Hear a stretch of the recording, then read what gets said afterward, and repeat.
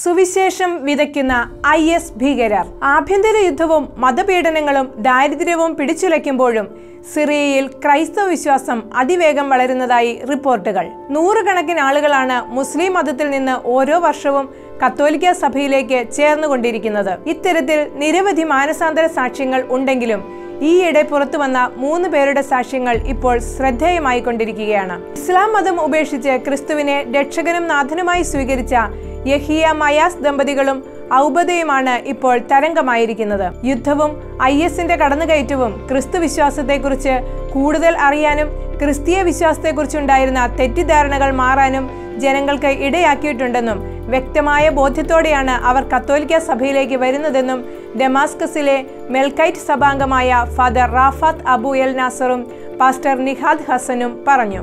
സിറിയയിലെ ഹോംസിലെ യാഥാസ്ഥിതിക മുസ്ലിം കുടുംബാംഗമായിരുന്നു യഹിയ. രണ്ടായിരത്തി പതിനാലിൽ ഐസിസ് നടത്തിയ മിസൈൽ ആക്രമണത്തിൽ പിതാവ് കൊല്ലപ്പെട്ടതിനെ തുടർന്നാണ് ഭാര്യ മയാസും മൂന്ന് വയസ്സുള്ള കുഞ്ഞുമായി യഹിയ ലെബനനിലേക്കും അവിടെ നിന്ന് കുർദിസ്ഥാനിലേക്കും പലായനം ചെയ്തത്. അവിടെ വെച്ചാണ് ക്രിസ്തു വിശ്വാസത്തെക്കുറിച്ച് കൂടുതൽ അറിഞ്ഞതും ക്രിസ്തീയ വിശ്വാസം സ്വീകരിക്കണമെന്ന ചിന്ത പ്രബലപ്പെട്ടതും.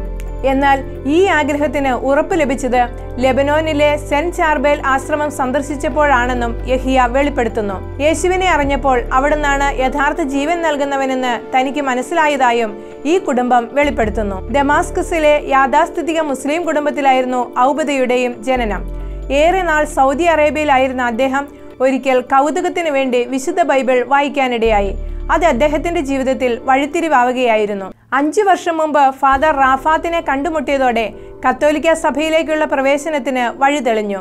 രണ്ടു വർഷം മുമ്പാണ് ജ്ഞാനസ്നാനം സ്വീകരിച്ച് അദ്ദേഹം ക്രിസ്ത്യാനിയായത്. മര്യഭക്തൻ കൂടിയായ ഇദ്ദേഹത്തിന്റെ കൈവശം സദാസമയവും ജപമാലയുമുണ്ട്.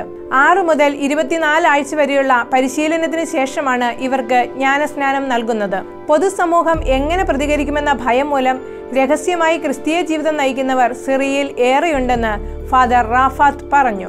എന്തിനെയാണോ ഇല്ലായ്മ ചെയ്യാൻ ശ്രമിച്ചത്?